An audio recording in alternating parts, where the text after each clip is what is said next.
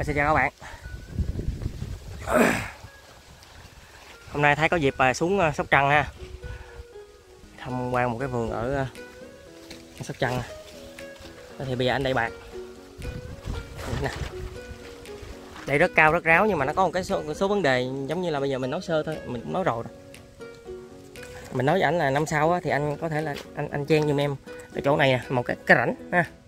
Để ba các bạn biết sao mình phải đẩy cho nó làm sao mà cho nó thoải xuống chút xíu. Đặng nước mà nó có rút là nước mà có nó mưa thì nó không có động ở đây. Nè một số bờ một số bờ các bạn thì nó cao nha một số bờ cao á thì nó nó động ở đây. À, nó động ở đây thì bây giờ nước ở chỗ này á, cái chỗ này nó sẽ không khô được mà rễ tơ thì nó nằm xung quanh đây hết.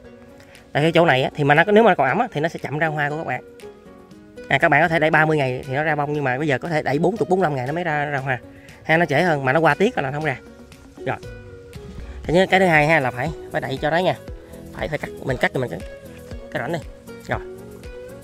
Vô cái vườn này nó gặp vấn đề nữa các bạn. Các bạn lên thuốc mà các bạn thấy cái đọt nó xì không? Nè, lên bắt lo rồi nha. Nè lên bắt lo rồi nè và cái đọt nó còn xì nè thấy chưa? Đó. Có hai cái vấn đề quan trọng mà các bạn phải nhớ là cái thứ nhất là cái mực nước. Ảnh thì gần cái bờ kinh. Bên kia cũng mép bờ kinh. Đó thì ở trong này á thì các bạn là ở trong này cái mương của anh này hai cái mương này thì nó nước nó cứ lên xuống lên xuống hoài. Rồi. Cái thứ hai nữa là cái đọt nó còn đi. Các bạn mà coi nè.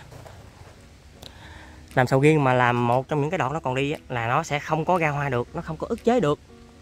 Các bạn nó không có ức chế được mặc dù cái cái miên trạng nó rất là nhiều. Các bạn nè. Cái đọt nó đi thấy không? Đi một khúc vậy nè. Khách hàng này khách hàng mới. Một, hàng mới đó, miên trạng ha lự hết trơn vậy nè. Ở trong cây là mình nói bạn là lự hết trơn vậy nè.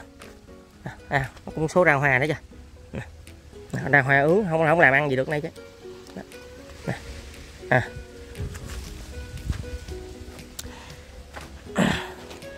một số khách hàng chú ý dùm chú ý dùm em nè chú ý dùm em nè.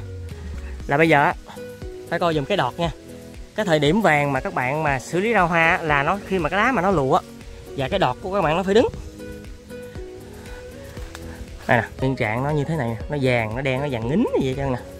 Đó. bây giờ sau khi mà lên bắt lo rồi, đối với cái vùng miền tây của mình nha. Các bạn phải nhìn cái đọt, ha, cái đọt kìa, cái đọt kìa. Đọt kia lụa kìa, mình mới cho cửa dàn đọt các bạn thấy không? Giờ lá nó lụa ra chân hết chưa đó. Mình sẽ cho anh lên một cái cử tàu mầm nữa, ha. Ra chỉ việc ra trong thân, ra kỹ thì kỹ trong thân và ướt trong thân dùm. Đây nè, một số nhánh nó ra, thấy chưa các bạn? Đây nè. À ra như thế này nè. Cái này thì cũng đâu có làm gì ăn được đâu à, có một số cây này cá biệt nó ra nè cái cây này nó đứng đọt nó mới ra nè. Cây này như ra uống đều hết trơn rồi. Đó. nè bạn thấy không? Ở trong đây nè bạn thấy nó sáng nè. Đó nó sáng từ từ ra nè sáng từ mép ngoài ra nè. Đó. nó đứng đọt nó mới ra được. Còn mà nó còn mà nó lụa lụa ha là nó không bao giờ nó ra được. À. thế nào các bạn không sao hỏi ủa cái đọt nó gì? Ví dụ bây giờ mình lên bắt lo lâu rồi bây giờ mình có lên bắt lo nữa hay không? Thì mình nó không cần nha. Các bạn không cần nữa. Đâu cây nè các bạn coi cái cây này cái bề hoành của nó nè. Ghê không? Cây này hồi năm trước mình làm là có cây lấy 500 kg trái rồi có dàn cạnh của nó kìa.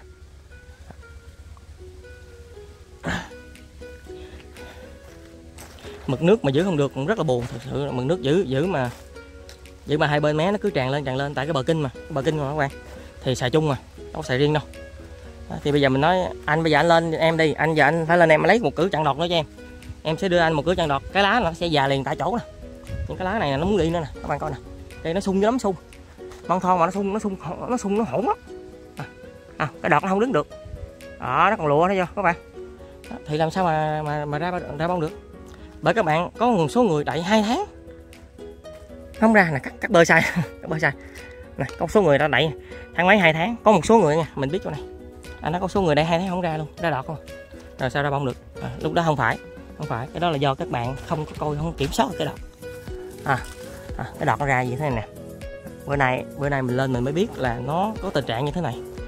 Chứ nếu mà nếu mà mình biết sớm sớm chút xíu ha là mình cho ảnh tán ở đọt này chìm xíu là được. Nè các bạn coi nè đọt này. 32 gốc à. năm trước thu gần 8 tấn. Thì năm nay nói chung là năng suất thì mình không nói tới nhưng mà mình cũng muốn làm sớm sớm cho ảnh có giá không có tiền. Gì chứ mà giờ kiểu này là là là là, là, là chắc bán một năm năm nữa rồi. Đó các bạn không đá nó lùa ha nhà đá lực lắm lực. Nhà đá là lực kinh khủng ở trong đây thì thôi nguyên trạng thôi. Mặt màn mình nó ốc cục ốc cục nổ luôn. À nguyên trạng nhiều lắm. À. rồi.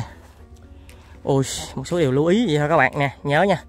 Làm sao lần nào lúc nào lên tầm mầm lần ba thì mà sao cho lên tầm mầm lần ba. Là cái nữa là là cái vấn đề của ảnh là bắt buộc phải lên tầm mầm lần ba rồi.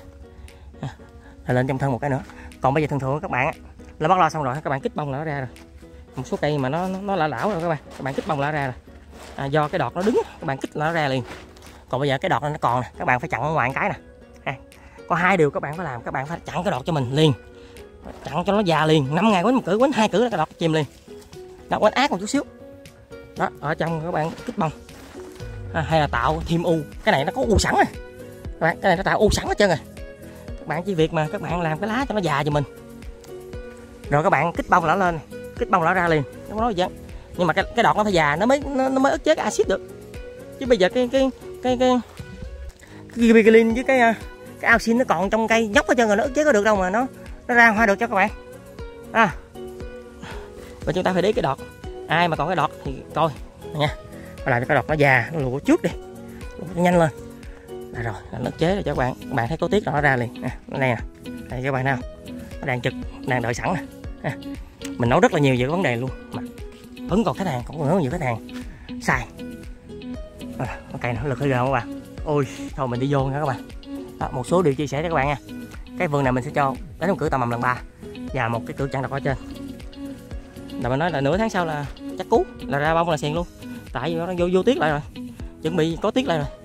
Đó, thì nó bước vô tháng này nè. Các bạn coi nè. Nó như thế này đó các bạn. Nhánh đực mà nó ra như thế này nè thấy chưa? Nó ra hết trơn, nó muốn ra hết trơn nè. Này các bạn các bạn coi nè. Nó sáng sáng cho này nó muốn ra hết trơn nè. Đó nè nhưng mà bây giờ nó chỉ đợi cái đọt mà nó lụa chút xíu nữa là nó ra. Nó đều ra đều giờ mình thái cũng mong muốn là lấy một cái cơi cho nó đều. Mà cái cây này nó ra đều chân các bạn. Nó ra đều chân bông các bạn thấy nè, nó hứng hứng ra chân này chưa? Nè, hứng ra chân gì ha? Đó, đã không? Cái này, cái đọt mà một số cây, cái đọt kia nó đứng là ngon lành. Rồi ok mình sẽ vô mình cho anh chặn đầu cứng nữa là được.